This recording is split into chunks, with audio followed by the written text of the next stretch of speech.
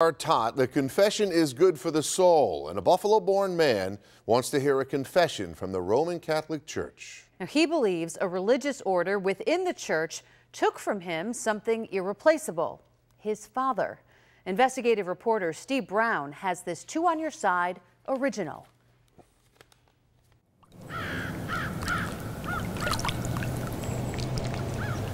Another day begins in westernmost South Carolina the creatures are beginning to stir. Among them, Jim Graham. This morning, Graham's back on Twitter. Every day I'm getting more followers, and it, it seems that uh, people that I'm not following are following me. The Buffalo born 72 year old is on the social media platform regularly with the ambitious goal of telling his life story one tweet at a time. It's hard to tell it in person. It's such a long, complicated story so I can kind of condense my thoughts. In Twitter, you have to.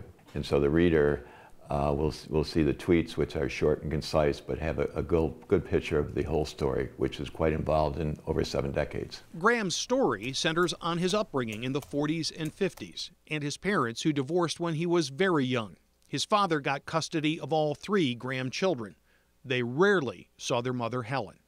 The only time we would see her would be four days during Easter and four days during the summer vacation, consecutive days.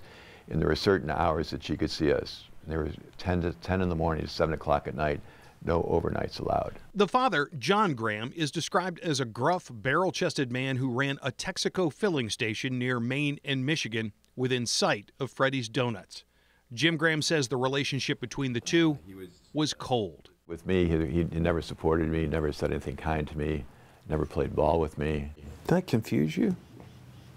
Uh, well, I, I, just thought I thought that was just kind of a yeah. It did confuse me, but I just thought that he was, um, you know, that was his, his, his mannerism. I mean, he, he was a little bit different with other people in the house, but with me, for some reason, there was a uh, which I could never understand, a disdain. Years later, at Jim's wedding, they were all there together.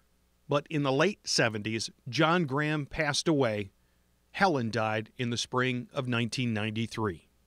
It was around then that Jim Graham says he started getting wind of a rumor within the family, about the family, that there was some sort of secret that had been kept from him for decades. To find out the truth of the matter, he turned to his Aunt Catherine and Uncle Otto Graham. They lived in this house in Kenmore. The meeting was in the fall of 93, and it was not a friendly meeting. So when I went in the house, there wasn't a warm greeting. You can see that they're not happy to discuss what we're going to talk about, what the questions I'm going to ask. I felt like I was an adversary in that in that environment at the day that day. You're sitting at the in the kitchen. Round table in the kitchen. Okay. Opposite them. Otto's to my left, Catherine's to my right. The first like, what happened was Catherine took this uh, out of a newsletter from the Oblate newsletter, this obituary, and she slid it across the kitchen table, and she said, "This man may have been your father. We don't know. Only the principals know, and they're all dead." In that moment, what are you thinking? I can see their caution about not wanting to confirm that he's my father. But at the same time, I just thought, I can't believe the lack of empathy that they're not saying, this must be a shock to you, and we'll support you in any way we can. But they didn't. They just sat there stoically and let me look at the obituary and didn't say a thing. Now, leaving that 1993 meeting with his aunt and uncle, Jim Graham suddenly had a mystery on his hands. The man he knew as his father for 48 years may not be his father. Instead, it may be a Catholic priest he never met. That triggered a search for answers that has now lasted almost 25 years. Tomorrow at 5:30 we continue this series with the surprising things Jim Graham discovered while digging into his own past. But if you don't want to wait, you don't have to.